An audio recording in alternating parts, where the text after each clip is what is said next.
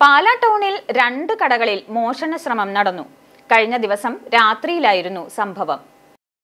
General ആശുപത്രിക്ക് സമീപമുള്ള Mattathil brothers and അസോസിയേറ്റ്സിലും ആനക്കല്ലുങ്കൽ ജുവല്ലറിയിലുമാണ് മോഷണശ്രമമുണ്ടായത്. മറ്റത്തിൽ കടയുടെ ഷട്ടറിന്റെ പൂട്ടിരുന്ന ഭാഗത്തെ കോൺക്രീറ്റ് അടക്കം പൊളിച്ചു മാറ്റി മോഷ്ടാവ് അകത്ത് കടന്നു. ഡ്രോയ്ക്കുള്ളിലുണ്ടായിരുന്ന നാണയത്തുട്ടുകൾ എടുത്ത് കടയുടെ പുറത്ത് വെക്കുകയും ചെയ്തു. ഒന്നും അപഹരിക്കപ്പെട്ടിട്ടില്ല. സമീപത്ത് തന്നെയുള്ള ആനക്കല്ലുങ്കൽ ജുവല്ലറിയുടെ ഷട്ടറിന്റെ താഴ് തകർത്തെങ്കിലും ഉള്ളിൽ കടന്നില്ല. ജുവല്ലറിയുടെ പുറത്തുണ്ടായിരുന്ന C C T V camera തിരിച്ചുവച്ച ശേഷമാണ് താഴ് പൊട്ടിച്ചത്. I four U news Ettumanoor.